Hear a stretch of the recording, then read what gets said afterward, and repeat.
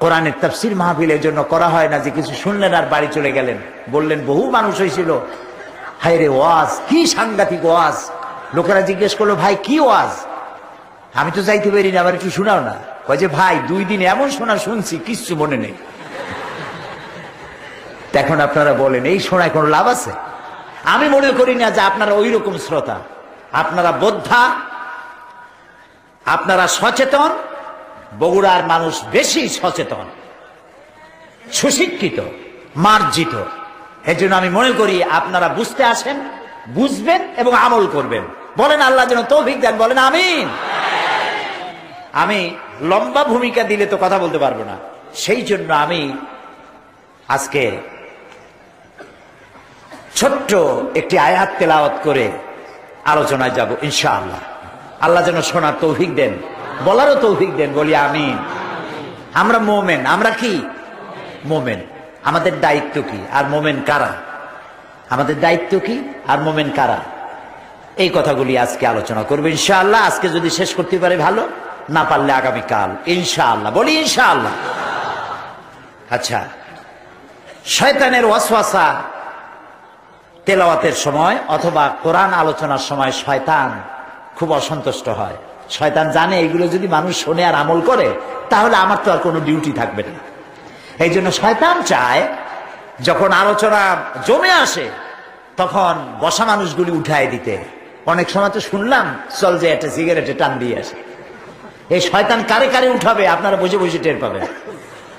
এই জন্য মজবুত হয়ে বসার জন্য আল্লাহর কাছে শয়তানের ওয়াসওয়াসা থেকে পানা চাইতে হবে। পড়েন আমার সাথে। أعوذ بالله من الشيطان الرجيم بسم الله الرحمن الرحيم বিতাড়িত মরদুদ শয়তানের ওয়াসওয়াসা থেকে পানাহ চাই পরম করুণাময় আল্লাহর নামে শুরু করছি إن الله اشترى من المؤمنين أنفسهم وأموالهم بأن لهم الجنة يقاتلون في سبيل الله فيقتلون ويقتلون وعدا عليه حقا في التوراة والإنجيل والقرآن ومن أوفى بعهده من الله فاستبشروا ببعيكم الذي بايعتم به وذلك هو الفوز العظيم سورة توبة 100 এগারো নম্বর আয়াত। আল্লাহ তালা বলছেন, নিশ্চয়ই আমি মোমেনের জান এবং মালকে খরিদ করে নিয়েছি এবং বিনিময় তাদেরকে জান্নাত দিয়ে, দিয়েছি। কে বলতেছেন? আল্লাহ তালা বলছেন, আমি আমার মোমেনের জান এবং মালকে কিনে নিয়েছি। এখন কেনা বেচা করতে হলে বিনিময় লাগে। আপনি কিছু কিনতে চাইলে বিনিময় কিছু দিতে হবে। তো আল্লাহ তালা বলছেন আমি তোমার জান আর মালটা কিনে নিলাম। বিনিময় আমি তোমাকে কি দেব? জান্নাত দেব। এখন প্রশ্ন হচ্ছে আমার জান কার? আমার মাল কার? আর আল্লাহ তালা বলছেন যে আমি আমি মোমেনের জান আর মাল কিনে নিলাম। এটা তো আল্লাহর নিজের। তা আমার জিনিস আমি কিনি কেমনি? আল্লাহর জিনিস আল্লাহ কিনছেন কি করে? এ কথাটার অর্থ কি? ব্যাখ্যা কি? কথা মাথায় ঢুকতেছে? আলহামদুলিল্লাহ।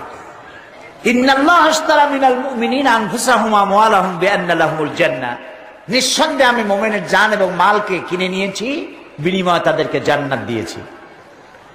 কি কিনলেন তিনি? তিনি কিনলেন আমার ইচ্ছাটা। এই যে আমার ভেতর একটা জান আছে, এই জানটা আমার না। কে দিয়েছেন? মালিক কে? আল্লাহ তাআলা। কিন্তু আপনি আত্মহত্যা করতে পারবেন না। এটা যদি আমার বলি, এটা যদি আমার হতো, তাহলে আত্মহত্যা করা যায় ছিল। আপনি আত্মহত্যা করতে পারবেন না। যদি কেউ আত্মহত্যা করে জাহান নামে যাবে। কোথায় যাবে? জাহান না যেহেতু এটা তোমার অধিকার নাই, তোমার আত্মাকে হত্যা করার কোনো অধিকার তোমাকে দেওয়া হয় নাই। এটি আল্লাহ। আর মাল, সেটি আল্লাহ তোমার কাছে কিছুদিনের জন্য আমানত রেখেছেন। মূলত সমস্ত সম্পদের মালিক লিল্লাহে মাহফিল সামাওয়াত ওয়া মাহফিল আর আসমান এবং জমিনের একচ্ছত্র মালিকানা কার? কিন্তু আমি বলতে পারব জমিনটা আমার, বাড়িটা আমার বলতে পারব, কিন্তু এটার চিরস্থায়ী মালিক আমি নই, এটি আমার কাছে আমানত রাখা হয়েছে। যেমন, এই বগুড়া শহরে আপনার একটা বাড়ি আছে, বাড়িটা আপনার দাবি করতে পারেন কিন্তু গভর্নমেন্ট যদি ইচ্ছে করে আপনার বাড়ি অধিগ্রহণ করে ওখান থেকে রাস্তা নিয়ে যেতে পারে মূলত মালিক গভর্নমেন্ট আপনি কিনে আপনি বাড়ি করছেন, কিন্তু গভর্নমেন্টের এখতিয়ার আছে। আপনার বাড়ি অধিগ্রহণ করে সেখানে রাস্তা করা বা অন্য কিছু করার এখতিয়ার তার আছে। আমাকে আপনাকে যে মাল দেওয়া হয়েছে, মালের মূল মালিককে আল্লাহ সুতরাং আমার কাছে দায়িত্বটা কি? আল্লাহ কিনলেনটা কি? আল্লাহর জিনিস আল্লাহ যে কিনলেন কি জিনিসটা কি? জিনিসটা হচ্ছে যান খরচ করা ইচ্ছা। মাল খরচ করার ইচ্ছাটা আল্লাহ কিনে নিয়েছেন। আপনি যেখানে খুশি, সেখানে আপনার জান খরচ করতে পারবেন না। আপনি এমন কোন জায়গায় জীবন দিতে পারবেন না, যে কাজে আল্লাহ তাআলা রাজি নাই, সেখানে আপনি আপনার জীবন দিতে পারেন না, আপনার শ্রম দিতে পারেন না। এমন কোন জায়গায় আপনার মাল খরচ করতে পারেন না, যেখানে আল্লাহ তাআলা রাজি নন। এই ইচ্ছাটা আল্লাহ খরিদ করে নিয়েছেন। আমাদের দেশে মানুষ যখন মারা যায়, তখন কবরে রেখে বলে কি? কবরে রেখে বিসমিল্লা আলা মিল্লাতে রাসূলিল্লাহ, আর কবরের উপরে মাটি দিয়া তো বলে, মিনহা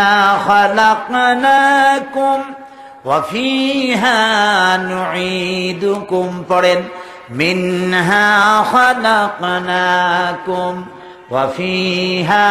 নুঈদুকুম ওয়া মিনহা নুখরিজুকুম তারাতান উখরা এই মাটি দিয়ে তোমাকে তৈরি করা হয়েছিল। এই মাটির মধ্যে তোমার রেখে গেলাম। এই মাটির ভেতর থেকে তোমাকে আবার পুনরুত্থিত করা হবে। আর কবরের মধ্যে রাখার সময় বললাম, বিসমিল্লাহ আলামিল্লাতে রসুলিল্লাহ। আল্লাহর নামে রসুলের দলে উঠাই দিয়ে গেলাম। কারে উঠাইলেন? একটা লাশ, মরা লাশ, তাকে উঠাই দিলেন রসুলের গাড়িতে। এখন রসুল এই লাশটাকে মিল্লাতে রসুল, আল্লাহ রসুলের দলে উঠালেন, রসুলের গাড়িতে উঠালেন। রসুল এই লাশ গ্রহণ করবেন কিনা? এবং এই মরা লাশ দিয়ে আল্লাহ করবেনটা কি? একটু ব্যাখ্যা দিলে বুঝতে পারবেন। যে ব্যক্তিকে কবরে রাখলেন, এই লোকটি যখন ছাত্র জীবন ছিল তার ছাত্র জীবনে যত আন্দোলন করেছে, মিছিল করেছে, মিটিং করেছে, সমাবেশ করেছে, সেখানে আল্লাহ এবং ইসলামের কোনো জিনিস ছিল না, আল্লাহর জন্য করে নাই, রসুলের জন্য করে নাই, কোরআনের জন্য করে নাই, রাত ভরে দেওয়ালে লিখেছে, সেই দেওয়ালের লেখাগুলি আল্লাহর কাজে, রসুলের কাজে লাগে নাই। ছাত্র জীবন চলে গেল, সাংবাদিক হলো, রাজনীতিক হলো, যাই কিছু হলো তার বক্তৃতা, তার বিবৃতি কোনো কাজ, কোনো কথা আল্লাহর কাজে লাগল না। আল্লাহর দিনের জন্য লাগে নাই। তার নির্বাচন, তার ভোট, তার জীবন, তার বক্তব্য, জীবনের কোনো কাজ, কোনো কথা আল্লাহর কাজে রসুরের কাজে লাগল না। এবার যখন সে বুড়া হয়ে মারা গেল, তখন তার লাশটা কবরে রাখার সময় বলা হলো, বিসমিল্লাহ আলা মিল্লাতে রসুলিল্লাহ। আপনার বিবেককে জিজ্ঞেস করুন এই বুড়া মানুষটা বুড়া লাশটা তার জীবনের একটা মুহূর্ত আল্লাহ রসুলের কাজে লাগে নাই, মরা লাশ দিয়ে আল্লাহ তার রসুল কি করবেন? এই জন্য আল্লাহ তালা বলছেন আমি তোমার জান এবং মাল খরিদ করে নিয়েছি। যেখানে সেখানে তোমার পয়সা চান্দা দিতে পারো না। একজন লোক আসলো, আমাদের নেতা বক্তৃতা করবেন, বিশাল জনসভা। নেতা আসবেন, সুতরাং তার চান্দা দেওয়া লাগবে। আপনি চান্দা দিতে পারেন না। যদি সেই নেতা ধর্মনিরপেক্ষ মতবাদী হয়, যদি সে ইসলাম বিরোধী হয়, তাহলে তার মঞ্চে সে বক্তৃতা করবে, সেই চান্দা আপনি দিতে পারেন না। আপনি একজন হিন্দুকে সাহায্য করতে পারেন। যদি তার মেয়ে বিয়ে হবে, পয়সা নাই। তার ছেলে অথবা তার স্ত্রীর অসুখ হয়েছে, চিকিৎসার পয়সা নাই। আপনি সাহায্য করতে পারেন। তার বাড়িতে ছাউনি নাই, আপনি ছাউনি দিতে পারেন। মানবিক কারণে হিন্দু খ্রিস্টান যে কোনো জাতির মানবিক কারণে সাহায্য করতে পারবেন। কিন্তু তার পূজা করার জন্য, মূর্তি বানাবার জন্য আপনি সাহায্য করতে পারেন না। এটা গভর্নমেন্ট করবে, আপনি পারবেন না। এখানে এই যে খরচটার ব্যাপারটা, আপনি যেখানে সেখানে ইচ্ছা করলেই খরচ করতে পারবেন না। ঢাকা থেকে নর্তকী আসবে নায়িকা আসবে গায়িকা আসবে। বিশাল নাচ গানের ওপেন কনসার্ট হায় হায় ওপেন কনসার্টে পুরুষগুলার চুল কোমর পর্যন্ত লম্বা। এদিকে চুল ফেলায়, ওদিকে চুল ফেলায়। দুইটা লাভ দিল, তিনটা সিক দিল ওপেন কনসার্ট হয়ে গেল। এগুলোর জন্য মানুষেরা পয়সা খরচ করছে। জায়েজ নাই। আপনার পয়সাটা আপনার পয়সা, আপনার জান, আপনার মাল খরচ করতে হবে। কেবলমাত্র আল্লাহ যেখানে রাজি আছেন, এর বাইরে আপনি খরচ করতে পারবেন না। আপনি সেই মিছিলে যেতে পারেন না। যে মিছিলে আল্লাহর নাম উচ্চারিত হয় না। আপনি সেই বিক্ষোভ, সেই সমাবেশে যেতে পারেন না। যেই সমাবেশ, যেই বিক্ষোভে আল্লাহর এবং ইসলামের কোনো স্বার্থ নাই। যেহেতু আমি মুসলমান, আমরা কি? বলেন সবাই, মুসলমান। এই জন্য আল্লাহ তারা বলছেন, আমি মোমেনের জান এবং মালকে খরিদ করে নিয়েছি। বিনিময় জান্নাত দেব? এই যে বিনিময় জান্নাতটা দেব এই ওয়াদা আমি করেছি, ওয়াদান আলাইহা হাক্কান ফিত তাওরাত ওয়াল ইনজিল। ওয়াল কোরআন, এই ওয়াদা আমি করেছি, তওরাতে করেছি, ইনজিলে করেছি, আর এই কোরআনেও করলাম। সুবহানাল্লাহ, কইতে ইচ্ছা করে না? আমার আল্লাহ বলছেন, এই যে তোমার জানমালের বিনিময় আমি তোমার বেহেস্ত দেব, এই ওয়াদা আমি করেছি, তওরাতে, ইনজিলে, আবার কোরআন শরীফও করলাম। ওয়ামান নাউফা বিআহাদিহি মিনাল্লাহ আর আল্লাহর চাইতে ওয়াদা পূরণকারী আর কে হতে পারে? পারে কেউ? পারে না। কত নেতা আসে ভাইয়ের আমার, বোনের আমার। আমার কথা মানো, না খাইয়া মরবে না। কত কথা বলে আর শেষ পর্যন্ত কিছুই হয় না। আছে না? আল্লাহর ওয়াদা কি এইরকম? আল্লাহ তাআলার প্রত্যেকটি ওয়াদা অক্ষরে অক্ষরে প্রতিফলিত হয়, সুবহানাল্লাহ। সুতরাং আল্লাহ তাআলা বলছেন ফাস্তাবশিরু বিবাইকুমুল্লাযী বায়াতুম। এবার আনন্দ করো, ফুর্তি করো। যারা আল্লাহর চুক্তিতে এগ্রিমেন্ট আল্লাহর এগ্রিমেন্টে চুক্তি করতে পারছ, আল্লাহর চুক্তির সাথে যারা ঐক্যবদ্ধ হতে পেরেছ, আল্লাহর এই শর্তে যারা ঐক্যবদ্ধ হতে পেরেছ, এই চুক্তি এগ্রিমেন্টে যারা স্বাক্ষর করতে পেরেছ, তারা আনন্দ করো। কারণ হচ্ছে, অদালিকা হুয়াল ফাউজুল আজিম আর এটা হচ্ছে মহা সাফল্য। আল্লাহর কথার সাথে একমত হতে পারা মুসলমানদের জীবনের সব থেকে বড় সাফল্য সুবাহান আল্লাহ এখন এই মোমেন্ট কারা? যেই মোমেনদেরকে আল্লাহ বড় সাফল্য বলেছেন, আনন্দ করতে বলেছেন, আর জানমান কিনে নিয়েছেন, ওই মোমেনরা কারা? এবার আসুন, সামনের দিকে সেই মোমেনের ব্যাখ্যায় যায় জানতে হবে না আমাদের? একশো বারো নম্বর আয়াত। আল্লাহ রব্বুল আলামিন বলেন التائبون العابدون الحامدون السائحون الراكعون الساجدون الآمرون بالمعروف والناهون عن المنكر والحافظون لحدود الله وبشر المؤمنين একশো বারো নম্বর আয়াত আল্লাহ তালা ওই মোমেনদের পরিচয় দিচ্ছেন। এই পরিচয়টা আমাদের জানা দরকার। আপনারা নিশ্চয়ই জানেন জাহান নামের সংখ্যা কয়টা? বলেন। আর জান্নাতের সংখ্যা আটটা। এখানে আল্লাহ তারা মোমেনের আটটা গুণ বর্ণনা করেছেন। কয়টা গুণ? আটটা শর্ত। এই আটটি শর্ত যদি কোন মোমেন্ট পালন করতে পারে আল্লাহর আটটি জান্নাতের দরওয়াজা তাদের জন্য খুলে যাবে। আমি সেই আটটি কোয়ালিটির কথা আপনাদের সামনে পেশ করব, ইনশাআল্লাহ। এক নম্বর আর তাইবুন বারবার তওবাকারী। মোমেনের প্রথম কোয়ালিটি, বারবার তওবাকারী, একবার না। বারবার তওবাকারী, প্রত্যাবর্তনকারী। তবা তবা মানে ফিরে আসা। ফিরে আসা, কিসের থেকে ফিরে আসা? তবা মানে বিরত থাকা তবা মানে ফিরে আসা। কিসের থেকে ফিরে আসা? বুদ্ধি করে কম তো। গোনা থেকে ফিরে আসা। এই জন্যই তো আমি বলছি যে, বগুড়ার মানুষ খুব সুশিক্ষিত, বোঝে ভালো। আলহামদুলিল্লাহ কর বেশি না বুঝলেই হলো। সঠিকভাবে বুঝতে পারলেই আমাদের কামিয়াবি আসবে। ইনশাল্লাহ বলে। আত্মাইবুন বারবার তওবাকারী নবী করিম সাল্লাল্লাহু আলাইহি ওয়াসাল্লাম, তিনি বলেছেন, আমি দৈনিক সত্তর বার তওবা করি। তিনি বলেছেন, আমি দৈনিক একশো বার তওবা করি। এবার বলুন তো, রসুলের জীবনে কোনো গুণা আছে? আসতে বললে তো আপনি বিপদে পড়বেন। রসুলের জীবনে কোনো গুণা আছে? যখন তিনি নবুয়াত পান নাই, যখন নবুয়াত পান নাই, নবুয়াত পেয়েছিলেন কত বছরে? সেই চল্লিশ বছর বয়স পর্যন্ত নবুয়াত বিহীন অবস্থায় যে ছিলেন তখন কোনো গুণা করছেন? নবুয়াত পাওয়ার পর তো প্রশ্নই ওঠে না। এরপরে আল্লাহ রব্বুল আলামিন তার নবীকে বলেছেন আপনার আগের এবং পরের সমস্ত গুনাহ খাতাকে আমি মাফ করে দিলাম। কোন গুণা নবী করেন নাই তারপরে আল্লাহ তালা মাফ করে রেখেছেন। কোন গুণা নাই আল্লাহ মাফ করে দিয়েছেন। মাফ করে রেখেছেন।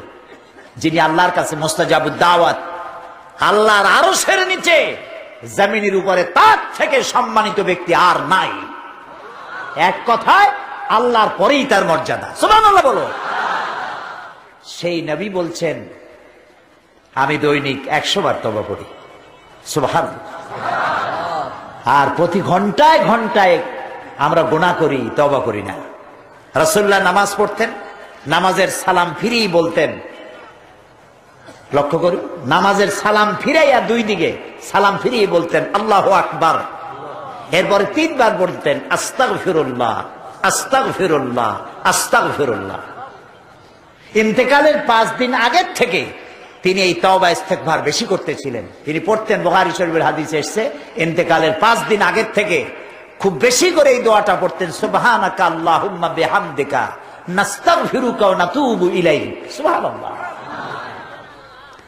নবী করিম সাল্লাম বলেছেন, তওবাকারীকে আল্লাহ তাআলা ভালোবাসেন। আর তায়েবু মিনাজ জামবি কামান লাহু।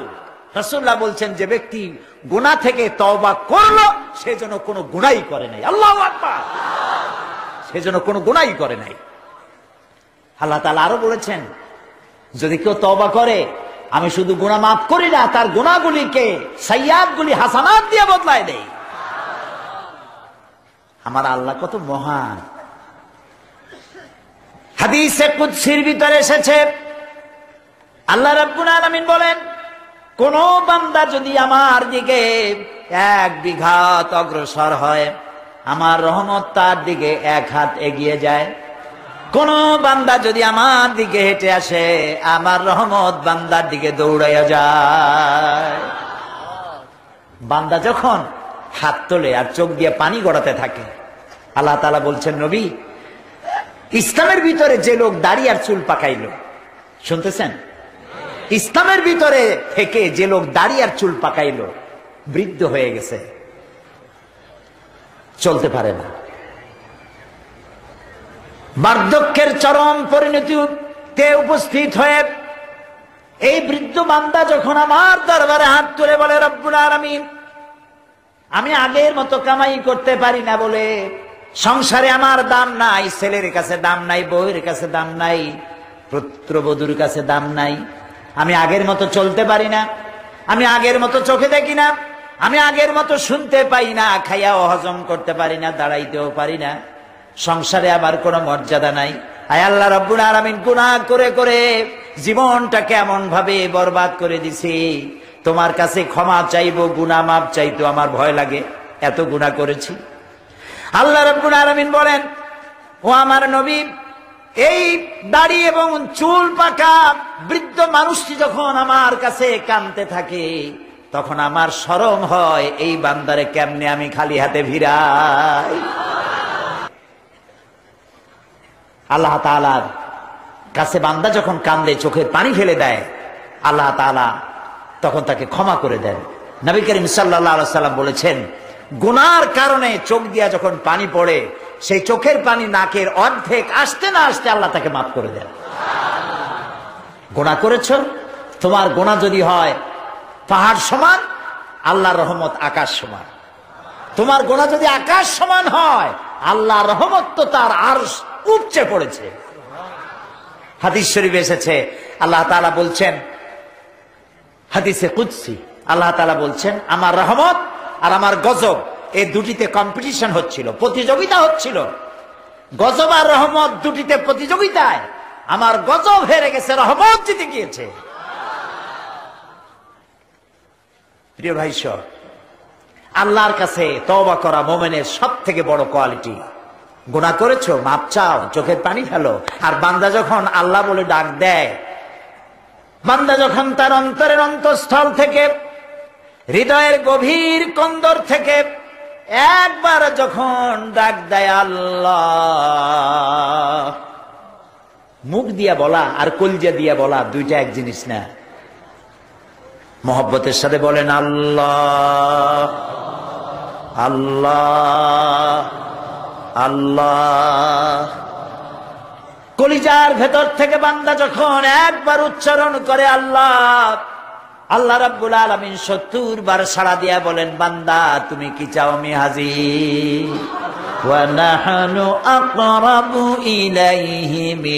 হাবলিল বান্দারে আমি তোমার সারা যে রগের উপর তোমার মাথাটা দাঁড়ানো আছে, এই রগের চাইতো আমি বেশি তোমার নিকটবর্তী। প্রিয় ভাই সব হজরত ইউনুস আলাইসালাম জাতিকে বুঝালেন, তৌহিদের উপর ইমান আনো পড়ো, জাতি মানলো না।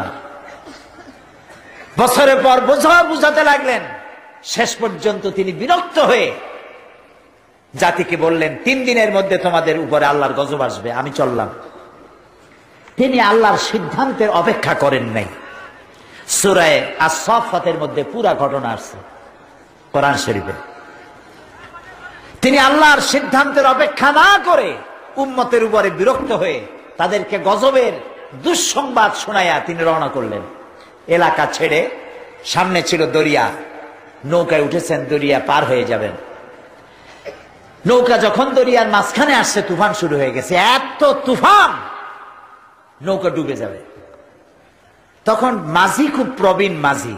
মাঝি বলছে যে দরিয়ার মধ্যে এই ধরনের তুফান তো স্বাভাবিক হয় না। আজকে যে অবস্থা হয়েছে, আমার দীর্ঘ জীবনের অভিজ্ঞতা হচ্ছে যে কোন কৃতদাস যদি পালায়, তখন মানুষ বেচা কিনার সিস্টেম ছিল। কোন কৃতদাস যদি তার প্রভুকে না বলে পালায়, তখনই এই রকমের তুফান হয় আর নৌকা ডুবে যায়। কোন কৃতদাস যে পালাইছে, এই জাহাজে আছে, এই নৌকায়, তা তো আমি জানি না। যদি কেউ রকম পালায় এসে থাকো, তাকে আমরা ফালাই দেবো নদীতে, তা নাহলে আমরাও বাঁচবো না। মাঝি বোঝে নাই যে সত্যি একজন প্রভুকে বলে আসে না এখন কেউ তো স্বীকার করছে না। এই কোরআন শরীফ বলছে সুরায়া সাফাতের মধ্যে তারা লটারি করল। লটারিতে নাম উঠল ইউনুস আলাহিসাল্লামের সকলে তার দিকে তাকাইলো। এই সুন্দর চেহারার মানুষ। তিনি তো আমাদেরকে ভালো কথা বলেন। পালায় আসার লোক তিনি না। ভুল উঠছে, আবার লটারি করো। দ্বিতীয়বার লটারিতে তার নাম উঠল। তাও বিশ্বাস করল না, তৃতীয়বার লটারি করল তৃতীয়বারে ওনার নাম উঠল। ইনুস আলাহিসাল্লাম এবার বললেন, নৌকার আরোহীদেরকে আমি সত্যি আমার প্রভুকে বলে আসিনি। তবে আমাকে ফালায় দিতে হবে না, আমি নিজেই পড়ব। উত্তাল তরঙ্গমালায় এই বিশাল দরিয়ার মধ্যে তিনি ঝাঁপিয়ে পড়লেন। মাছ একটা রেডি ছিল। যেই না তিনি পড়লেন মাছ তাকে গেলা শুরু করে দিল। অন্তরিক্ষ থেকে আল্লাহ রব্বুল আলমিন মাছকে জানাই দিলেন, মাছ, এটা তোর রুজি না, চাবাইতে পারবি না, হজম করতে পারবি না। মাছের পেটের ভিতরে চলে গেলেন তিনি। আল্লাহ তালা বলছেন, ওয়াজান্নুন إذ ذهب مغاضبا فظن أن لن نقدر عليه. فنادى في الظلمات أن لا إله إلا أنت سبحانك إني كنت من الظالمين.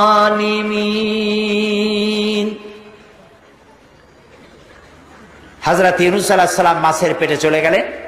তাফসিরে এসেছে, এই মাছকে আর একটা মাছ গিলে ফেলল।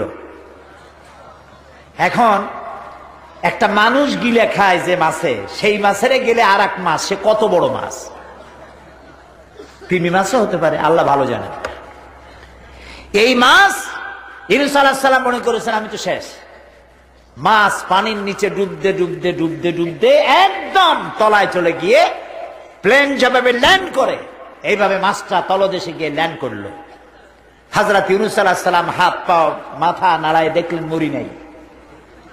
তিনি দাঁড়ায় গেলেন। মাছের পেটের ভিতরে দাঁড়াইয়া ঘোষণা করলেন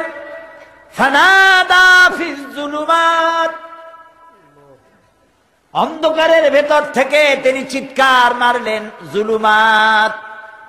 জমায় কাথির ত্রিবিধ অন্ধকার, মাছের পেটের অন্ধকার, রাতের অন্ধকার, পানির অন্ধকার, ত্রিবিধ অন্ধকারের ভেতরে হাজরা হাজরাত সালাম চিৎকার মারলেন ইলাহা ইল্লা আনতা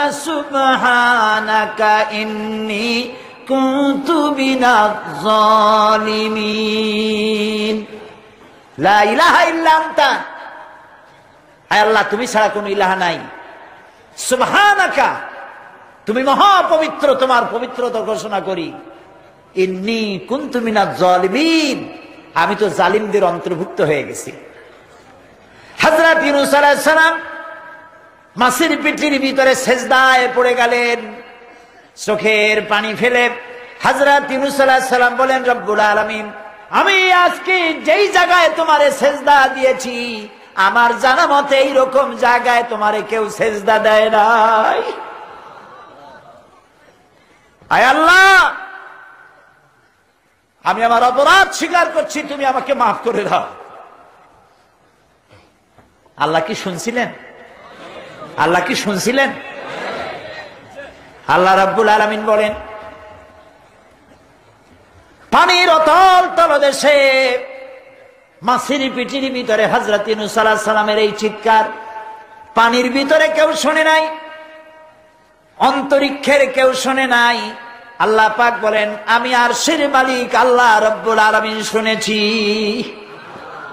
আমি জবাব দিলাম, ফাস্তাজাবনা লাহু ওয়ানাজ্জাইনাহু মিনাল গাম্মি। وكذلك نوجي المؤمنين আমি ডাকের সাড়া দিলাম আমি ইউনুস আলাহিস সালামকে বাঁচাই দিলাম মাছের পেটের ভিতরে যন্ত্রণা শুরু হয়ে গেল পেট ব্যথা মাছ বুঝতে পারলো আমি যদি বমি না করি বাঁচবো না মাছ ভেটে ভেসে উঠল এবং কেনারায় চলে গেল মাছ বমি করে ইনুস আল্লাহ সাল্লামকে ছেড়ে দিল মাছও বাঁচলো ইনুস আল্লাহ সাল্লাম বাঁচলেন। তাফসিরের ভিতরে এসছে, কোন কোন মুফাসির লিখেছেন, তিন দিন ছিলেন মাছের পেটে। কোন কোন মুফাসির লিখেছেন, চল্লিশ দিন ছিলেন। মাছের পেট থেকে যখন তিনি বেরোলেন, মাছের পেটে থাকার কারণে আর গেলার সময় দাঁতের যে সব আচড় লেগেছে গায়ে, তাতে করে চামড়া ছিঁড়ে গিয়েছে শরীরের দীর্ঘদিন মাছের পেটে থাকার কারণে শরীরে ঘা হয়ে গেছে। বমি করে দিল সুরায়ের মধ্যে আল্লাহ তালা বলছেন, আমি ইরুসাল্লাহ সাল্লামের যেখানে বমি করল, ওইখানে একটা কদু গাছ উঠাই দিলাম। কদু গাছ বড় হয়ে গেল। কদু গাছ কেন? এই জন্য শরীরে ঘা থাকলে সেখানে মাছি পড়ে, পোকা পড়ে। মাছি এবং পোকা মাকড় যাতে না পড়ে, সেই জন্য এমন এক গাছ দিলেন যে গাছের পাতায় মাছি বা পোকা মাকড় কখনো পড়ে না। আপনারা খুঁজে দেখেন। শুধু ইউনিসকে নয়, আল্লাহর মোমেন বান্দাদের প্রতি আল্লাহর আদা আমার মোমেন বান্দারা, যদি এরকম কোন বিপদেও পড়ে, ইউনুস যেমন বিপদে পড়েছ আমাকে যদি ডাকে, আমি আল্লাহ রব্বুল আলমিন বিপদ থেকে বাঁচায় দেব। আল্লাহর কাছে তওবা করা, আর তায়েব, আর তায়েবুন, বারবার তওবাকারী। শুধু একবার নয়, বারবার তওবাকারী। আল্লাহ তাআলা তওবাকারীকে পছন্দ করেন। আমরা যেন তওবা করতে পারি, আল্লাহ যেন তৌফিক দেন বলি আমি এটা কি মনে থাকবে আমাদের? যে প্রত্যেক ফরজ নামাজের পরে ইমাম যখনই সালাম ফিরাবেন, অথবা আমরা একা যদি নামাজ পড়ি কখনো, যখন সালাম ফিরাবো দুদিকে, তারপরে কি বলব বলেন তো? মনে থাকবে? এটা শূন্য নবী করিম সাল্লাহ সাল্লাম বলতেন। আল্লাহ আকবার, বলেন? তারপরে কি? কয়বার? আস্তাক ফিরুল্লাহ আস্তাক ফিরুল্লাহ আস্তাক ফিরুল্লাহ তবা করবেন, যে কোনো গুণা করবেন তবা করবেন। আর গুণা করব না, এই নিয়ত করতে হবে যে আল্লাহ গুণা থেকে তুমি আমাকে বাঁচাও গুণা থেকে আমাকে রক্ষা করো। এই দোয়া আল্লাহর কাছে করতে হবে। আল্লাহ তালা যেন তৌফিক দেন, আমরা বলি আমিন। এগুলো এক নম্বর কোয়ালিটি, মোমেনের এক নম্বর কোয়ালিটি আর তয়ে আর আত্মায়েবুন বার বার তবাকারী আল আবেদুন দুই নম্বরে হচ্ছে এবাদতকারী দুই নম্বরে কি? এবাদতকারী এই পৃথিবীতে আমাদেরকে আল্লাহ পাঠাইছিলেন কি জন্যে? আল্লাহ রাব্বুল আলামিন কোরআনে কারিমের মধ্যে বলছেন, মা খালাকতুল জিন্না ওয়াল ইনসা ইল্লা আমি মানুষ এবং জিন জাতিকে সৃষ্টি করেছি শুধুমাত্র আমার ইবাদতের জন্য। তারা আমার ইবাদত করবে এই জন্য। এখন প্রশ্ন উঠতে পারে যে সারাক্ষণ যদি ইবাদতই করি, তাহলে বাজার করব কখন? চাষবাস করব কখন? ব্যবসা বাণিজ্য করব কখন? রাজনীতি করব কখন? একজন মুসলমান, তার সব কাজ হবে এবাদত সুবাহান মুসলমানের সব কাজ কি হবে? বলেন সবাই এবাদত হবে। আপনি যে ঘুমাবেন, আপনার ঘুম এবাদত হবে। বেশি রাত জাগার দরকার নাই। আপনি ঈশান নামাজ পড়ে খানা খেয়ে ঘুমায় যান।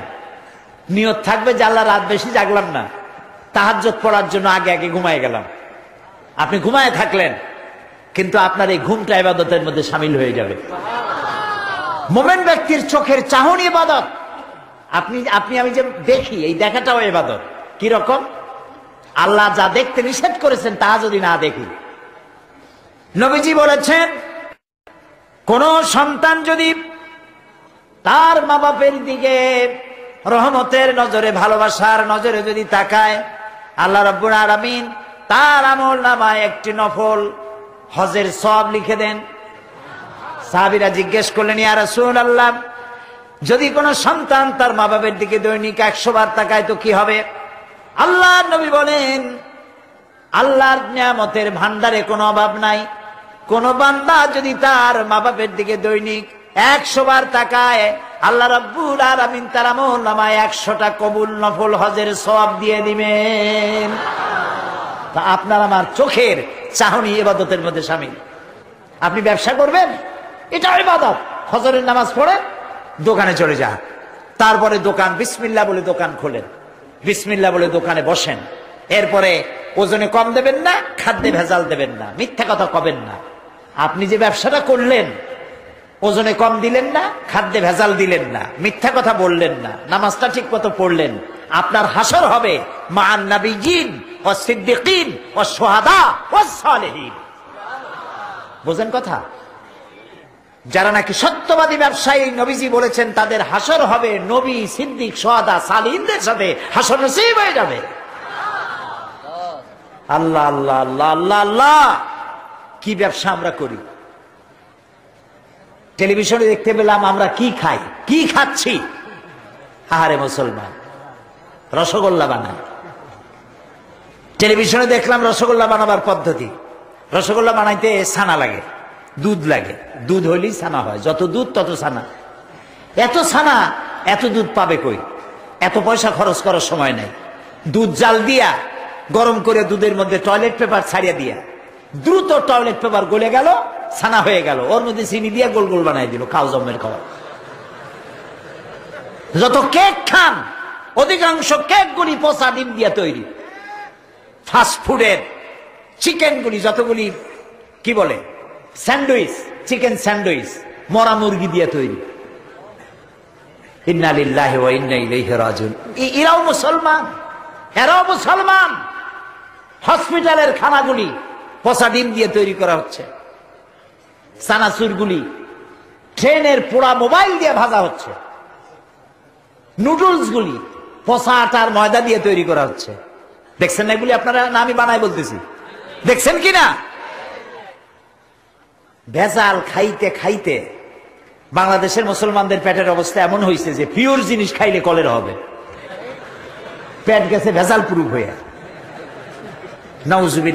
জালিক এরপরে এই ভেজাল বিক্রি করিয়া রসুল্লাহ বলেছেন, যে ব্যক্তি ভেজাল দেয়, সে আমার উম্মত নয়। এখন আপনি করেন, তাহাজ্জুদ করে কপালের চামড়া উঠায় ফেলেন রসুল্লাহ বলেছেন, তুমি আমার উম্মত নও। আল্লাহরে ফাঁকি দিবেন বেশ তো আপনার মামু বাড়ি এত সহজ নয়। খাদ্যদ্রব্যে ভেজাল যারা দেয়, তারা মানবতার দুশ্মন। তারা মুসলমান নামের কলঙ্ক। সুতরাং আল্লাহ আবেদুন এবাদতকারী আপনি খাদ্যদ্রব্যে ভেজাল দেবেন না। আপনি মিথ্যা কথা বলবেন না। বাংলাদেশের তৈরি কাটা কাপড়, জাপানের সিল মারবেন না। আমার দেশের কাপড় কেনার মতো মানসিকতা আমার থাকতে হবে। আমার কাপড় আমার দেশে যেটা তৈরি হয়, এটাই ভালো। এই মানসিকতা থাকতে হবে। খালি আমার সোনার বাংলা আমি তোমারে ভালোবাসি, এটুক বললেই হবে না। ভালোবাসার প্রমাণ দিতে হবে। ঠিক কিনা মিথ্যা কথা কেন বলতেছেন? আবার লাভ করতেছে দুইশো টাকা, পাঁচশো টাকা, বলতেছে আল্লাহর কসম, দুই টাকাও লাভ করিনি, লাভ করছে একশো টাকা, দুই টাকা লাভ করেনি। এই ধরনের মিথ্যা কথা বলার দরকারটা কি? আপনি বলেন আমি ব্যবসা লাভ করব না, তা আমি চলবো কি করে? আপনি কত করতেছেন তা বলার দরকার নেই। আর অতি মুনাফা খুরি। এই যে রমজান মাসে জনমের মতো পেঁয়াজের দাম বাড়লো, আটার দাম বাড়লো, আরও কিসের কিসের দাম বাড়লো, জনমের মতো। কেন এই দাম বাড়ে? এই জন্য দাম বাড়ে, মুসলমানের এইগুলি আগের থেকে কিনে রাখে, দুই মাস, তিন মাস আগে রোজাদারদের কষ্ট দেওয়ার জন্য। আরে রোজাদার, রোজাদারের মুখের দুর্গন্ধ আল্লাহর কাছে মিস্ক এবং আম্বারের চাইতে পবিত্র। রোজাদারদের জন্য আল্লাহ তাআলা জান্নাতের একটা আলাদা গেট রেখেছেন, যার নাম রাইয়ান। এখানে শুধু রোজাদারেরা প্র- প্রবেশ করবে, সব রোজাদার যখন এই গেট দিয়ে প্রবেশ করবে গেট বন্ধ হয়ে যাবে। আর কেউ ঢুকতে পারবে না। রোজাদারদের সাথে আল্লাহ স্পেশাল সাক্ষাৎ দিবেন, সুবহানাল্লাহ। সেই রোজাদার দিয়ে ব্যবসা করো। দুই তিন মাস আগের থেকে রোজার আইটেমগুলি কিনে জমা করিয়া তারপরে রোজাদারদের উপরে ব্যবসা করো। তোমার ব্যবসা নিয়ে কোন জাহান নামে থাকবে, দেখবে। সারা বছরের সব লাভ রোজার মাসে। এই হলো মুসলমানের মানসিকতা। এরপরও দাবি করে আমি মুসলমান। শয়তানে হাসে। আরে বেটা, তুই যদি মুসলমান হতো আমি কি? শয়তান খুব দুর্ভাবনায় পড়ে যায়।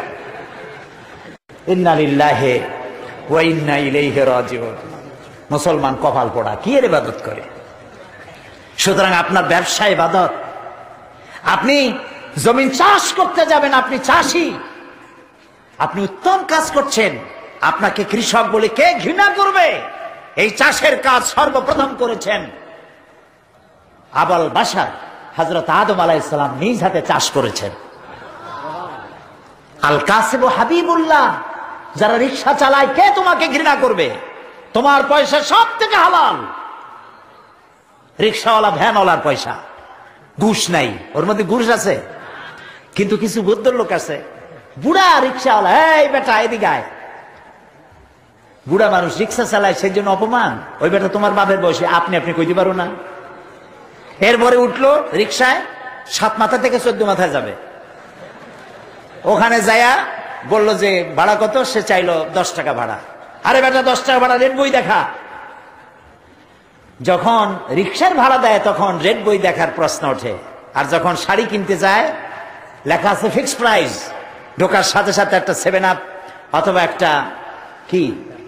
ঠান্ডা মান্ডা কিছু একটা দিল, খাইয়া ঠান্ডা। শাড়ির দাম কত? শাড়ির দাম তেরো হাজার পাঁচশো তিরানব্বই টাকা, বিরানব্বই পয়সা। এইখানে রেট কত তার তালাশও করে না। বেশি কথা কইলে ভদ্রতার খেলাপ হবে। ওইটা ঠিক মতো আনতে পারে, কিন্তু রিক্সাওয়ালার মাথার ঘাম ফেরানো পয়সা নিয়া তার সাথে ঝগড়া করে, তর্ক করে। এটা ঠিক নয়।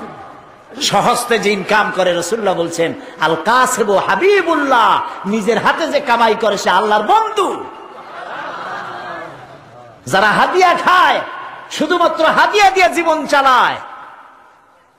কোনো কাজ কাম নাই, খালি হাদিয়ার উপরে নির্ভর।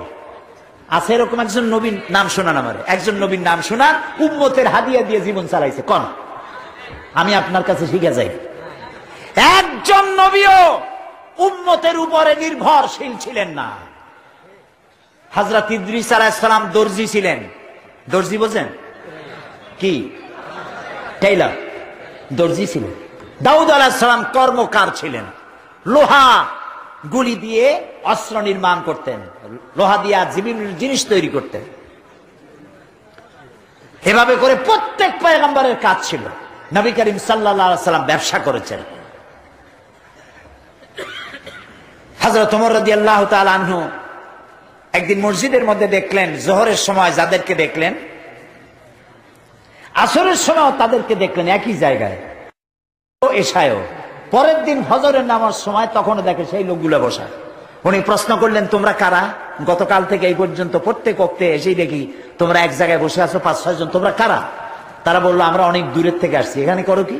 কয় যে এখানে বসে বসে আমরা আল্লাহর জিকির করি। খাও কি?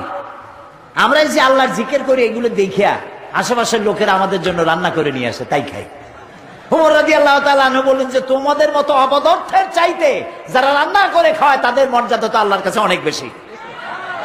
শোনো, আগামীকাল জোহরের নামাজের পর যদি এই জায়গায় বসা দেখি ব্যাট মেরে মসজিদ থেকে বের করে দেব।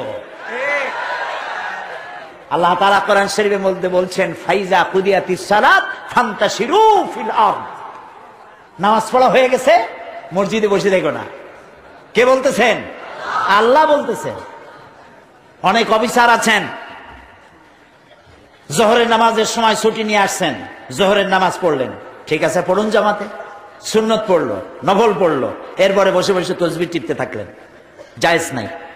যেহেতু আপনি সরকারের একজন কর্মচারী, আপনি ফরজ এবং সুন্নত পড়ার এখতিয়ার আছে। নফল বাড়ি যেয়ে পড়েন, তসবি বাড়ি যেয়ে পড়বেন। গভর্নমেন্টের নির্ধারিত সময় যে আপনি এবাদতের মধ্যে জিকেরাজগারের মধ্যে নষ্ট করলেন, বেতন নেবেন। হালাল হবে না বেতন? এর নাম ইসলাম। বাস্তব ধর্মী ইসলাম। আপনার রুচি হালাল হতে হবে।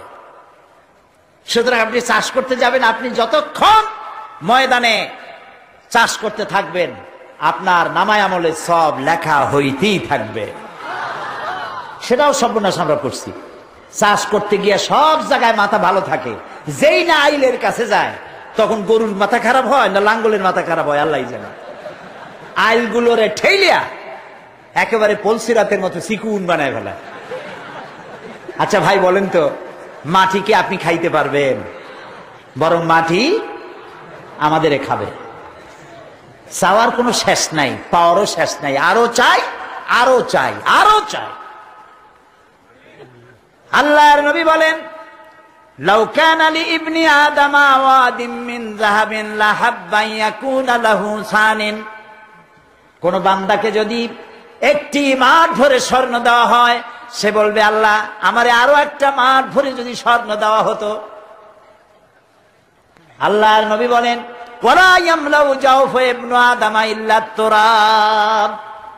মানুষের পেট কবরের মাটি ছাড়া কোনো জিনিস দিয়ে ভরবে না। দেখছেন? এমপি হইলে কয়, আহারে, মন্ত্রী যদি হইতে পারতাম। একটা গাড়ির মালিক, আহারে, যদি আরও আটটা, দশটা গাড়ি হইতো। একটা হোটেলের মালিক, আরও যদি পাঁচটা হইতো। ক্ষুদার কোনো শেষ নাই। টিয়ারের গম পাইলাম, কাবি খা তো পাইলাম না। নাম হলো কাবি খা। তার মানে হলো খাবি, জম্মের খাওয়া খা। গভর্নমেন্টের মালগুলা সব প্যাট ভরা। রাস্তাঘাট কালভার্ট ব্রিজ খাইয়া সব শেষ। আল্লাহর কাছে জবাব দিই তার চিন্তা নাই। আর এগুলি যদি জবাব দেই তার চিন্তা নিয়ে যারা কাজ করে, এবাদতের সামিল সুবহান আল্লাহ সুবহান আল্লাহ এবাদত মানে শুধু নামাজ রোজা না? আল্লাহ তাআলা বলছেন, মা খালাকতুল জিন্না ওয়াল ইনসা ইল্লা লিয়াবুদুন। ইবাদত ছাড়া তৈরি করি নেই। যদি নামাজ, রোজা, হজ যাকাতি শুধু ইবাদত হয়, তাহলে তো সব কাম কাজ ফালাইয়া মসজিদে বসে থাকা লাগবে। এবাদতের ব্যাপক অর্থ রয়েছে। জানতে হবে, বুঝতে হবে এবাদত কারে কয় প্রিয় ভাই সব, সেই সত্যিকারের এবাদত করতে হবে আমাদেরকে। জীবনের সব ক্ষেত্রে আল্লাহর হুকুম মানার নামই হলো এবাদত সুবহানাল্লাহ কর। জীবনের সকল ক্ষেত্রে আল্লাহর হুকুম মাফিক জীবন পরিচালনা করার নাম এবাদত খাওয়ায়, পড়ায়, ওঠায়, বসায়, চলায়, রাজনীতি, অর্থনীতি ইলেকশন ভোট, নির্বাচন, সবটা ইসলাম ইসলাম। যারা ধর্ম নিরপেক্ষ, তারা কয় ধর্ম আর রাজনীতি আলাদা। কে তোমারে কইল ধর্ম আর রাজনীতি আলাদা? তুমি কে না এই ফতোয়া দিতে তুমি কে? ধর্ম আর রাজনীতি যদি আলাদা হয়, তাহলে দাউদ আলাহ সালামকে কি বলবেন আপনি? সোলাইমান আল্লাহ সাল্লামকে কি বলবেন? সোলাইমান আল্লাহ সাল্লাম সারা দুনিয়ার রাষ্ট্রপ্রধান ছিলেন না? বানায় কইলাম না কোরআন শরীফে আছে? সারা দুনিয়ার রাষ্ট্রপ্রধান ছিলেন। দাউদ আলাহ সালাম রাষ্ট্রপ্রধান ছিলেন। মুসা আলাহ সালাম রাষ্ট্রপ্রধান ছিলেন। ইউসুফ আলাহ সালাম রাষ্ট্র প্রথমে মন্ত্রী ছিলেন, তারপর রাষ্ট্রপ্রধান ছিলেন। মোহাম্মদ রসুল্লাহ সাল্লাহ সাল্লাম সাড়ে বারো লক্ষ বর্গ মাইল এলাকার প্রেসিডেন্ট ছিলেন, রাষ্ট্রপতি ছিলেন। ধর্ম আর রাজনীতি যারা আলাদা বলে, তারা মুসলমান নয় মুসলমান নয়, মুনাফিক মুনাফিক মুনাফিক।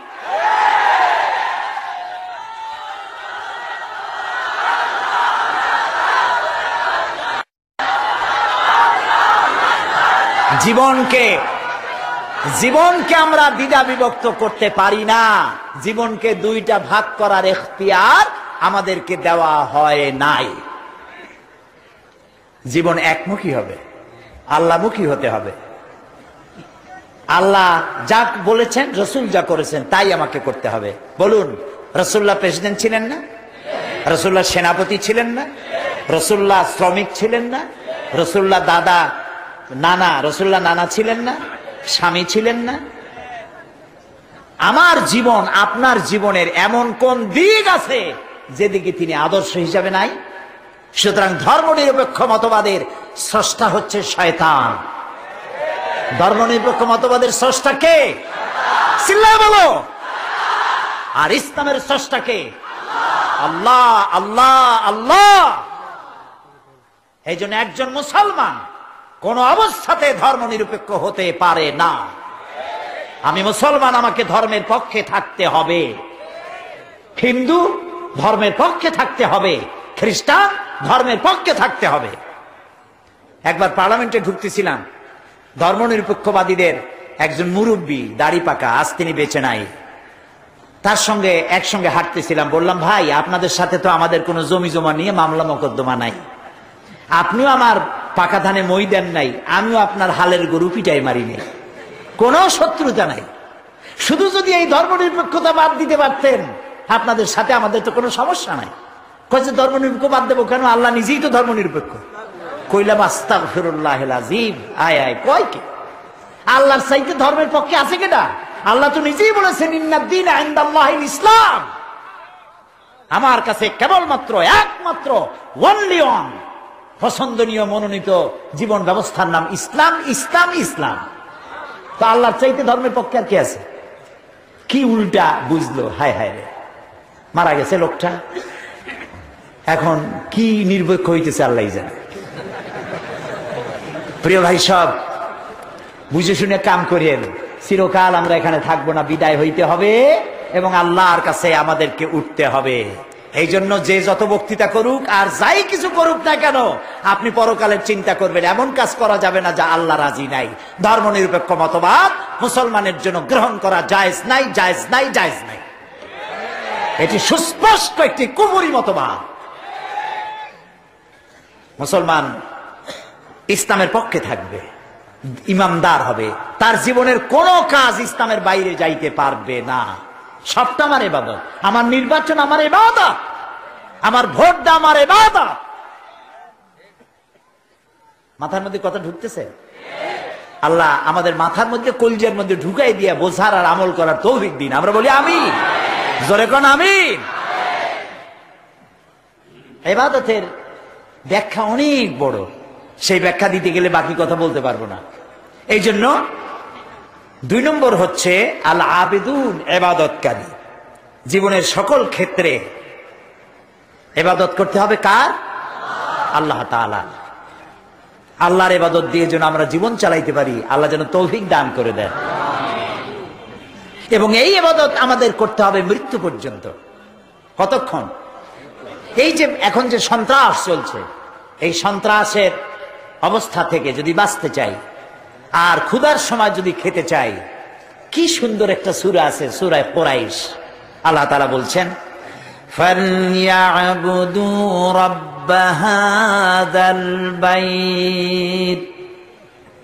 হে কোরাইশরাম যদি ক্ষুধার সময় যদি তোমরা শীত ও গ্রীষ্মে নিরাপদে থাকতে চাও, যদি নিরাপত্তা পেতে চাও ফালিয়া আবুদুর রব্বাহাজ আল বাইত। এই ঘরের মালিকের এবাদত করো, কোন ঘর? বাইতুল্লাহ শরীফ।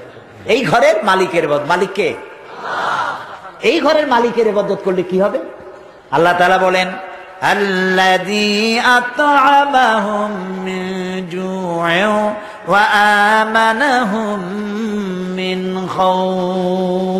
এই ঘরের মালিকের ইবাদত করো, কি হবে? ক্ষুধার সময় তিনি খাদ্য দিবেন। ভীতির সময় তিনি নিরাপত্তা দান করবেন। সুবহানাল্লাহ। আমরা তো চা- এটাই চাই। আমার ক্ষুধার সময় খাবার চাই, ভীতির সময় নিরাপত্তা চাই। কে দিতে পারবেন? কে দিতে পারবেন? আল্লাহ তালা দিতে পারবেন। আমরা কি জান্নাতে যেতে চাই? বলেন যেতে চাই। আল্লাহ তাআলা বলেন, জান্নাতে যদি চাও ফাদখুলি ফি ইবাদি ওয়াদখুলি জান্নাতি আমার গোলামির মধ্যে শামিল হও। ফাদখুলি ফি ইবাদি আমার বান্দাদের মধ্যে সামিল হয়ে যাও। ওয়াদখুলি জান্নাতি এরপরে আমার জান্নাতে চলে যাও। গোলাম না হইয়া জান্নাতে যাইতে পারবা না। এরপরে জান্নাতে গিয়ে তোমরা কি আল্লাহর সাথে দেখা করতে চাও?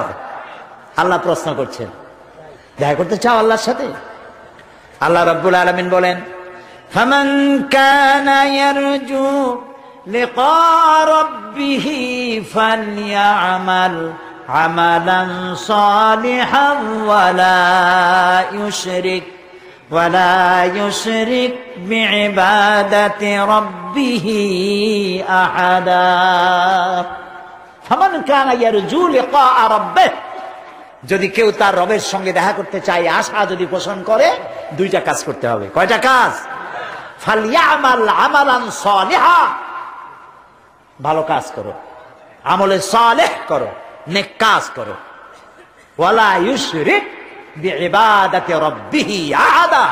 এবং আল্লাহর এবাদতের মধ্যে কাউকে শরীক স্থাপন করো না।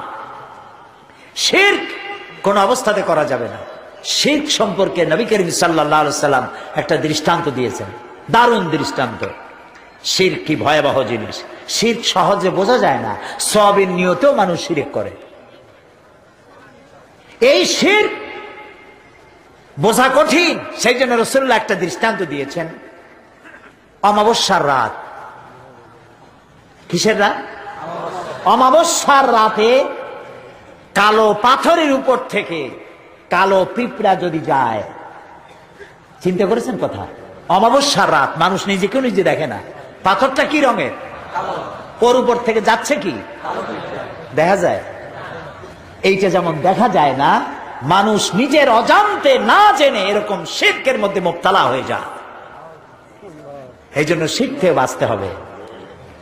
কেমতের দিন আল্লাহ তার বান্দাকে, যে বান্দাকে জান্নাত দিতে ইচ্ছে করবেন পাহাড় পরিমাণ গুণাও যদি থাকে, আর আল্লাহ যদি ইচ্ছে করেন, ওই বান্দাটাকে জান্নাতি দিবেন। আল্লাহ তো বেপরোয়া, কারও কাছে তার কৈফিয়ত দেওয়া লাগে। তিনি তার কোনো বান্দাকে জান্নাতি দিবেন। গোনা করেছে জীবনে বহুত। আল্লাহ বললেন, তোরে মাফ করে দিলাম। কেউ বলতে পারবে যে আল্লাহ মাফ করলা কেন? না। আল্লাহ যদি মাফ করতে চান ফেরেস্তাকে বলবেন ফেরেস্তা দেখো তো তার আমল নামায় কোন শিরেক আছে নাকি? কোন শেখ যদি না থাকে, রিপোর্ট যদি হয়, আল্লাহ বলবেন, মাফ করে দিলাম, যাও আমার জান্নাতে।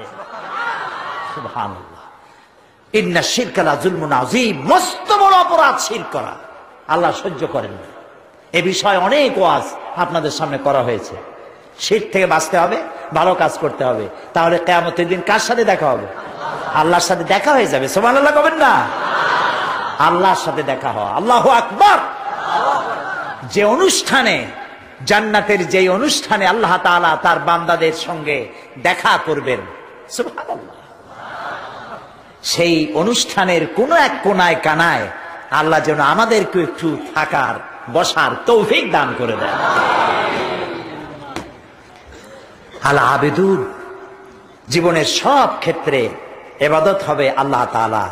আর এবাদত কাকে বলে? এক কথায় বলে দিলাম, আল্লাহর হুকুম মাফিক জীবন পরিচালনা করা রসুল্লাহর বিধান অনুযায়ী জীবন পরিচালনা করার নামটাই হলো এবাদত। এখন আপনি যাই করেন, আল্লাহ এবং রসুলের হুকুম মাফিক হতে হবে। নম্বরে বলা হয়েছে আল হামেদুন প্রশংসাকারী। কার প্রশংসা? বলেন সবাই। আল হামেদুন প্রশংসাকারী। এক নম্বরে কি বলছিলাম? তবাকারী দুই নম্বরে কি বললাম? এবাদতকারী। তিন নম্বরে প্রশংসাকারী। প্রশংসা কার হবে? আল্লাহর। আল্লাহ আল্লাহ আল্লাহ আল্লাহ। তিনি ছাড়া প্রশংসা কারও হতে পারে না। আল্লাহ তাআলা কোরআনে শুরুই করেছেন নিজের প্রশংসা দিয়ে। সুবহানাল্লাহ। আলহামদুলিল্লাহি রাব্বিল আলামিন। পড়েন সবাই, আলহামদুলিল্লাহি রাব্বিল আলামিন। সমস্ত প্রশংসা, যাবতীয় প্রশংসা আল্লাহর জন্য। তার প্রশংসা করব না তো কার প্রশংসা করব? কোন হুজুর ফু দিয়া গ্লাস ফাটাইলো? কোন হুজুরে বাংলাদেশে বসিয়া মক্কা শরীফের কুত্তা খেদাইল? পুকুরে আগুন জ্বালাই দিল? ওগুলো আমার জানার দরকার নেই। এই প্রশংসা করার কোনো দরকার নাই। প্রশংসা করব আল্লাহ এবং তার রসুলের আল্লাহ এটাই মোমেনের কাজ। আল্লাহর প্রশংসা করতে করতে জীবনটা শেষ হয়ে যাবে মোমেনের। সর্বক্ষেত্রে আল্লাহর প্রশংসা। কোনটার প্রশংসা করে শেষ করতে পারবেন? এই যে দুইটা চোখ। আল্লাহ দান করলেন। এই দুইটা চোখের প্রশংসা করে শেষ করতে পারবেন? আহারে, এই চোখ দুইটা যদি না থাকতো, আমি আমার মায়েরে দেখতাম না। আমার সন্তানদের দেখতে পারতাম না। এই সুন্দর জন্মভূমি দেখতে পারতাম না। যার চোখ নাই, সে বোঝে কি নিয়ামত হারাইছে। আল্লাহরে কই? আয় আল্লাহ তাআলা, তুমি আমাদের শরীরে যত নিয়ামত দিয়েছ মৃত্যুর আগে এর একটাও তুমি ছিলাই নিও না। মৃত্যু পর্যন্ত সমস্ত নিয়ামত আমাদের সাথে রাখো। একটা চোখের শকর আদায় করতে পারব না। একটা, দুইটা কানের শুক্রিয়া আদায় করতে পারব না।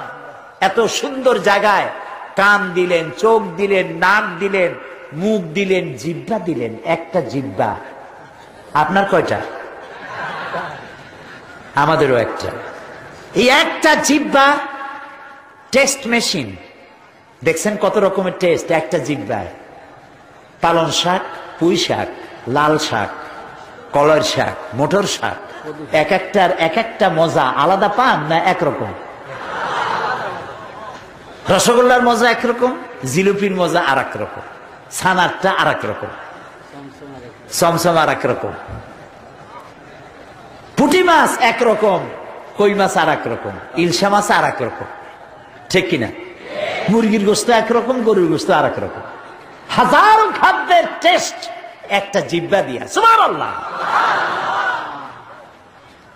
সেই জিব্বা বত্রিশটা শত্রুর মধ্যে থাকে। কটা শত্রু? আর এই জিব্বা দাঁতের প্রতি কত দরদ তার। কোন জায়গায় কোনো একটা কিছু ঢুকলে জিব্বা ওইটা নিয়ে গুতোগুতি করতেই থাকে বাইর করার জন্য। এত রহমত করে, দয়া করে সে দাঁতের প্রতি আর সেই দাঁত সুযোগ পাইলেই একটা বাইরে দেয়। দেখছেন অবস্থা? আল্লাহ তারা এমন সুন্দর জিব্বা দিলেন, আহারে। শকর আদায় করে কুল পাওয়া যাবে? এই জিব্বাটা আল্লাহ আবার ভিজা ভিজা রাখছেন। এটা যদি শুকনা, মাঝে মাঝে শুকনা হয়ে যায় না? কথা বলা যায়? যায় না, আল্লাহ ভিজাই রাখছে। সুমান আল্লাহ আল্লাহর প্রশংসা করেন। আল্লাহ প্রশংসা করো, আমি তোমার বাড়াই দেবো। লাইন শাকারতুম লাযীদান্নাকুম ولئن كفرتم إن عذابي لشديد আমার নিয়ামতের শকর যদি আদায় করো আমি নিয়ামত বাড়ায় দেব আমি তোমাকে বৃদ্ধি করে দেব নেয়ামত আর যদি শকর আদায় না করো আমি তোমার শাস্তি দেব লাইন সাকার তো লাজিদান্নাকুম শকর আদায় করলে বাড়ায় দেব কি বাড়ায় দেব না শকর যদি আদায় করো, বাড়ায় দেব। কি বাড়ায় দেব? না। শকর যদি আদায় করো, শুক্রিয়া আদায়ের শক্তি আরও বেশি করে বাড়ায় দেব। নিয়ামত তো দিছি। শকর আদায় করো, শকর আদায় করার শক্তি আরও বাড়ায় দেব। তুমি যত শকর আদায় করবা, আমি তোমার উপর রাজি খুশি হয়ে যাব। সুবান আল্লাহ আমি যদি আল্লাহর জিকের করি এইখানে বসিয়া, আমরা বগুড়ার ঈদগা মাঠে এখানে আল্লাহর কতগুলো বান্দাবান্দি একত্রিত হয়ে আল্লাহর জিকের আজগার করতেছি। আল্লাহ কয় ফাজ করুনি আজ করুকুম তুমি আমার জিকের করো, আমি তোমার জিকের করব। তো আমার জিকের আর আল্লাহর জিকের মধ্যে পার্থক্য আছে না? আমরা জিকের করতেছি মাটির দুনিয়ায় বৈশা এইখানে কিছু লোক আল্লাহর জিকির করছে। আল্লাহ কয়, তুই যদি আমার জিকির করিস, আমি জিকির করব আর সে আজিমে ফেরেশতাদের সাথে নিয়া। সুবহানাল্লাহ। ফাজকুরুনি বিল ইস্তিগফার। আজকুরুনি বিল মাগফিরা, আজকুরুকুম বিল মাগফিরা। তুমি আমাকে ইস্তেফারের সাথে স্মরণ করো, আমি তোমারে ক্ষমা করার দিয়া তোমারে স্মরণ করব। হামিদুন আল্লাহর প্রশংসা করিয়া, আল্লাহর যদি প্রশংসা করি, তাহলে আল্লাহ লাভ আছে কিছু? না, আল্লাহর লাভ নেই। কারণ, আল্লাহর লাভ হইতো যে আমরা যত প্রশংসা করব, আল্লাহর পজিশন তত বাড়তে থাকবে। এরকম হবে নাকি? আল্লাহর মর্যাদা যে ডিগ্রিতে আছে, আপনি আমি সারা পৃথিবীর মানুষ আল্লাহর জিকের, ফেকের হাম করে আল্লাহর ওই পজিশন থেকে এক ডিগ্রি উপরে উঠাইতে পারব না। আর সারা পৃথিবীর মানুষ যদি আল্লাহকে অস্বীকার করে, শকরিয়া, প্রশংসা যদি না করে, যে পজিশনে তিনি আছেন, তার থেকে এক ডিগ্রি নিচেও নামবে না। তাহলে এই শকর আদায় করায় প্রশংসা করায়, তাজবি পড়ায়, আল্লাহর কোনো লাভ নাই। লাভ কার বলেন আমার। বলেন? আমার লাভ। আমি যত শকর করব, জিকের করব, আল্লাহ তত আমার মর্যাদা বাড়াই দিবেন। এই জন্য প্রশংসা হবে কেবলমাত্র কার? আল্লাহ তাআলার প্রশংসা করতে হবে। আল্লাহর প্রশংসা দিয়া ভরে ফেলতে হবে জীবনটাকে। সর্বক্ষেত্রে প্রশংসা করো। আলহামদুলিল্লাহ সুবাহান আল্লাহ আল্লাহ আকবার। এগুলি বলতে থাকো, আল্লাহ খুশি হয়ে যাবে। সন্তান বিদায় করো, স্কুলে যায় ছেলে। সব নতুন নতুন কথা মা বলে দেয়, বাবা শিখায় দেয়, টাটা, বাই বাই, যাই যাই। বলে না? তে হইল কি? বাই বাই, টাই টাই, খাই খাই। লাভটা কি? আপনি যাওয়ার সময় ছেলেকে বলেন, ফি আমান আল্লাহ হাফেজ। আমার কলিজার টুকরা সন্তান, আমার মেয়ে, আমার ছেলে, স্কুলে যাচ্ছ, ফি আমান ইল্লাহ আল্লাহর হাতে তোমার ছেড়ে দিলাম। সুবাহ আল্লাহ আল্লাহর প্রশংসা জীবনের সকল ক্ষেত্রে করতে হবে। আল্লাহ তাআলা বলেছেন ইউসাব্বিহুলিল্লাহ মা ফিস সামাওয়াতি ওয়া মা আর আকাশে যা আছে, জমিনে যা আছে মাঝখানে যা আছে, সব আমার প্রশংসা করে। সুবহানাল্লাহ সুবহানাল্লাহ। এই যে গাছপালা দেখতে পান চতুর্দিকে এই গাছগুলি কার জিকির করে? বাতাস তার সনসন রবে, পাখিগুলি তার কল কাকলিতে নদীগুলি তার কুলু কুলু নাদে। গাছের পাতাগুলি তার মর্মর রবে, যত ধরনের শব্দ আমরা শুনতে পাই, সমস্ত শব্দগুলি কোনো শব্দ নয়। ওর থেকে তারা আল্লাহর তাজবি পড়ে। সুবাহান আল্লাহ আল্লাহ আকবার, আলহামদুলিল্লাহ, তাজবি তারা পড়তে থাকে।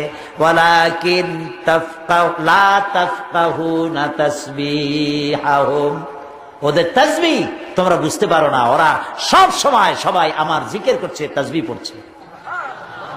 আল হামিদুন সুতরাং তুমি আমার প্রশংসা করো, শুক্রিয়া আদায় করো, তাহলে আমি তোমার নিয়ামত বাড়াই দেব।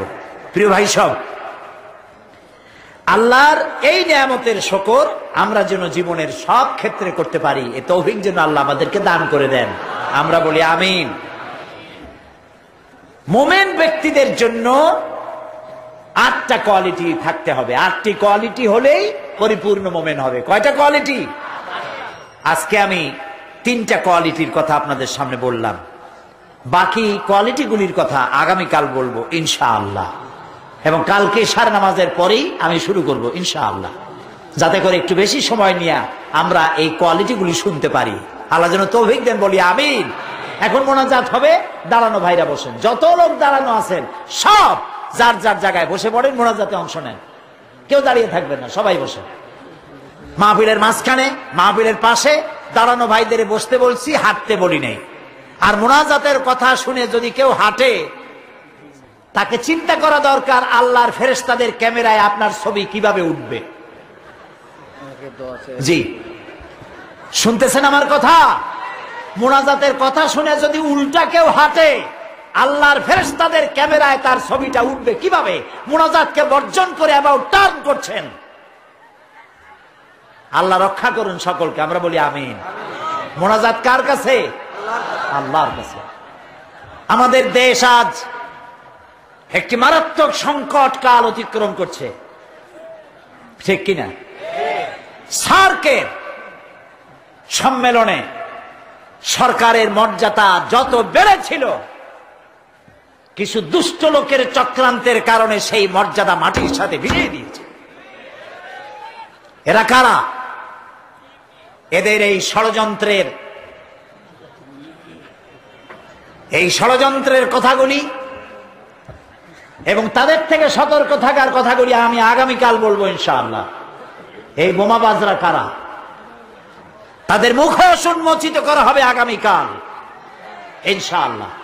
আপনারা সকলে আপনাদের বন্ধু বান্ধব দাওয়াত দিয়ে নিয়ে আসবেন। টার্গেট নেন একজনে তিনজন দাওয়াত দিবেন। একজনে কয়জন? কোরআনের এই কথাগুলি শোনার পর যদি কারও কিসমতে হেদায়ত নসিব হয়ে যায় সৎকায় জারিয়ার সব পাবেন কেয়ামত পর্যন্ত। আমরা এতক্ষণ কথা বলেছি কিসের কথা?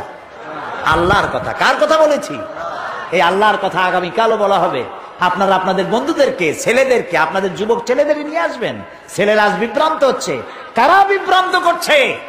তাদের চেহারা আগামীকাল উন্মোচিত করা হবে, ইনশাআল্লাহ।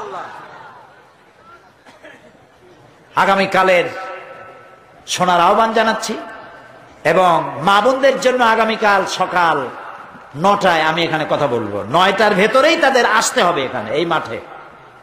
মা বোনদের জন্য আলাদাভাবে কথা হবে, দেরি করবেন না মোটি। যিনি দেরি করবেন, তিনি মাহরুম হবেন। কালকে জুমার দিন তো। আমি বড় জোর এক দেড় ঘণ্টা কথা বলব, এর বেশি নয়। সেই জন্য আপনার স্ত্রী, আপনার মেয়ে, আপনার বোন, আপনার মা, সকলে আপনাদের মেয়েদেরকে এখানে পৌঁছায় দিবেন। একটা মা যদি ভালো হয়, একটা সংসার ভালো হয়ে যায়। ঠিক না ভাই? মা বোনদেরকে তাদের তো শোনার কোনো সুযোগ হয় না। মসজিদে যাইতে পারে না। কারা যে দেওয়ালে দেওয়ালে লেখে, মহিলাদের মসজিদে যাওয়া হারাম। ঈদগা মাঠে যাওয়া হারাম। গণতন্ত্র হারাম। লং মার্চ হারাম। পার্লামেন্ট হারাম। মনে হয় তাদের কাছে একটা কেতাব আছে। কেতাবের নামটা হচ্ছে কেতাবুল হারাম। ওখানে হারাম ছাড়া কিচ্ছু নাই। গণতন্ত্র হারাম যারা বলে। এই জাহেলদেরকে জিজ্ঞেস করতে চাই, ক্ষমতা পরিবর্তনের জন্য গণতন্ত্র না থাকলে পদ্ধতি কি? কেমনে ক্ষমতা যাবে মানুষ? সরকারের পরিবর্তন কীভাবে হবে? সুতরাং আজকের যারা বোমাবাজ, যারা দেওয়ালে দেওয়ালে, রাস্তায় রাস্তায় যারা লেখে গণতন্ত্র হারাম, এই বোমাবাজ হই শহরে যেখানে যেখানে লেখা আছে গণতন্ত্র হারাম, পুলিশের দায়িত্ব এগুলি রং দিয়ে বুঝে পেল এই ধরনের লেখা যারা লেখে গ্রেপ্তার করো। এরা জাতির দুশ্মন। কে তোমাকে শিখিয়েছে লং মার্চ হারাম? কে তোমাকে বলেছে গণতন্ত্র হারাম? কি এর বাইয়ে না পত্রিকা হাবি যাবি জাহিল। লেখা জানে না, পড়া জানে না। হাবি যাবি রাস্তায় সব জায়গায় লিখে রেখেছে তাহাজ্জুদের নামাজ জামাতে পড়া হারাম। মেয়ে লোকের ঈদের জামাতে যাওয়া হারাম। আরে বেটা রসুল্লাহ সাল্লাম ঈদের দিন মেয়ে লোকদেরকে ডেকে ডেকে ঈদের ময়দানে নিয়ে যেতেন। মহিলাদের যে অধিকার ইসলাম দিয়েছে, তোমাদের মতো জাহিলরা মেয়েদেরকে সে অধিকার থেকে বঞ্চিত করছে। সুতরাং সতর্ক হতে হবে, দেওয়ালে কারা লেখে? রাতের বেলায় দেখতে হবে কারা লিখতে আসে, গ্রেফতার করো পিটাই হাত ভেঙে দাও। এ দায়িত্ব আপনাদের না পুলিশের? আপনারা আবার হাত বাঁধতে যেন না। আমি আগামীকাল বলব ইনশাল প্রিয় ভাই সব, মহিলাদেরকে আগামীকাল এখানে পাঠিয়ে দেবেন নটায়, ইনশাআল্লাহ। এবং বাচ্চাদেরকে দিবেন না। দুধের বাচ্চা ছাড়া। বাকিগুলি আপনারা কোলে নিয়ে রাস্তা রাস্তা হাঁটবেন।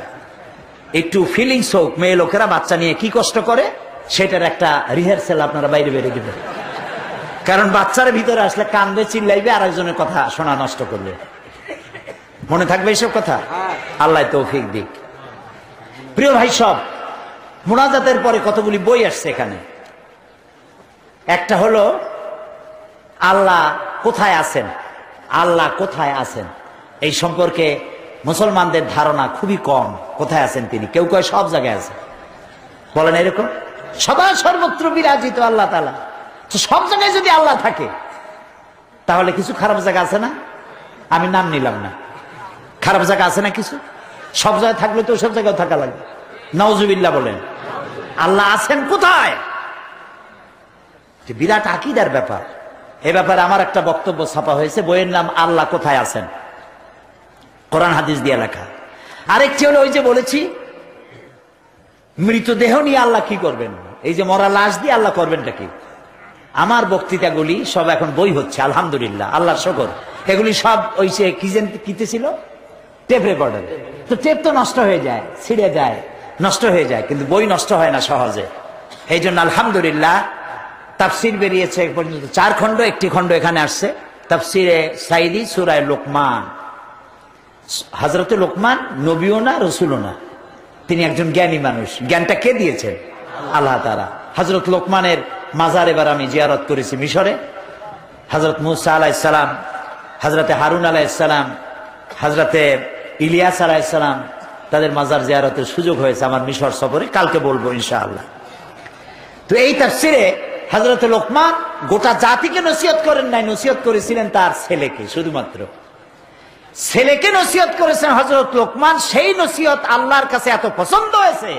হজরত লোকমানের নামে একটা সুরা বানাইয়া আল্লাহ তাআলা লোকমানকে চিরন্তন করে দিয়েছেন। সন্তানকে নয়টা নসিহত করেছিলেন। কয়টা? সেই নয়টা নসিহত দুই রুকুতে, দুই রুকুর তাফসির করেছিলাম চট্টগ্রামে, দুই রুকুর তাফসির শুনিয়া পঁয়তাল্লিশ জন হিন্দু, খ্রিস্টান, বৌদ্ধ মঞ্চে এসে মুসলমান হয়ে গিয়েছে। এটা সেই তাফসির। এখানে ঢাকা থেকে কোথায় আসছে খুঁজে নিয়ে আপনারা কিনে নেবেন। আর আল্লাহ কোথায় আছেন? আল্লাহ মৃত্যুর দেহ নিয়ে কি করবেন? এই দুইটা বই ওরা দশ টাকা করে হাদিয়া রেখেছে মাত্র। আপনারা যাওয়ার সময় এই দুটো বই সকলের দরকার। জীবন সংশোধন হবে ইনশা আল্লাহ আকিদা সেই হবে। এবং আমার মিশর সফরের উপরে পাঁচ দিন ছিলাম মিশরে। পাঁচ দিনে সাড়ে চার হাজার কিলোমিটার দৌড়াইছি। এখন চিন্তা করেন, শুধু রাতের ঘুমটুকুন ছাড়া বাকি সময় আবার আসতে পারব কিনা জানি না। হজরত ইউসুফ আলাহিসাল্লামের দেশ। ইব্রাহিম আলাহিসাল্লামের শ্বশুর বাড়ি মুসা আলাহিসাল্লামের দেশ, ফেরাউনের দেশ। আল্লাহ আমারে দেখাইছে, আলহামদুলিল্লাহ। মুসা আলাহিসাল্লাম যেখানে আল্লাহর সাথে কথা বলেছে, সে জায়গাও দেখেছি। আলহামদুলিল্লাহ। আগামীকাল বলব ইনশাআল্লাহ, সেই রাস্তায় রাস্তায় আমি বই লিখেছি। রাস্তায় রাস্তায়। রাস্তা কত মসৃণ হলে বই লেখা যায়, চিন্তা করেছেন? দেখেছি আর লিখেছি। সেটাও বইয়ের আকারে বেরিয়েছে নীল দরিয়ার দেশে। এটিও একটি বই।